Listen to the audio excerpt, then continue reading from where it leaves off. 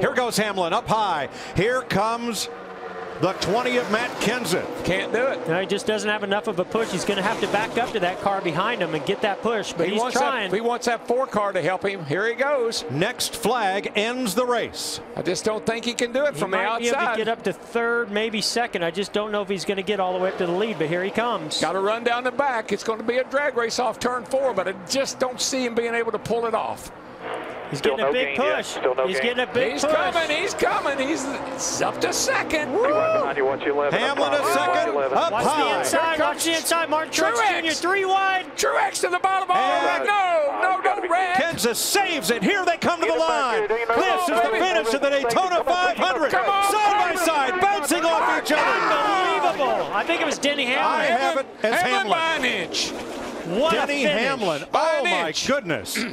I've got chills at my spine. That Oh, was baby. amazing. Are you kidding me?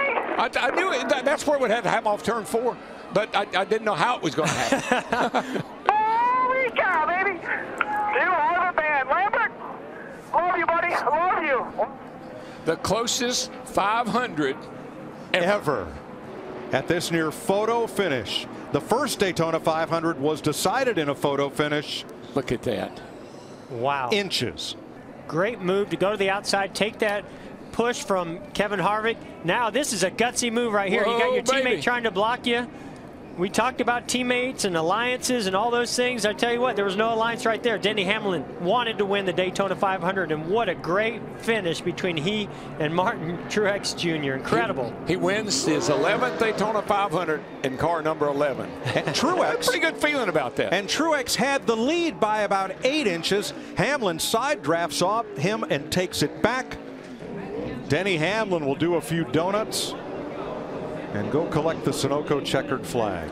Toyota wins their first Daytona 500. There was two things I was hoping for today in my first Daytona 500 as a broadcaster. One was sunshine, and the other was the closest finish in history. Thank you very much, Oh, Denny. Hamlin. What a day it's been from the very get-go. This has just been one of those fun days, man.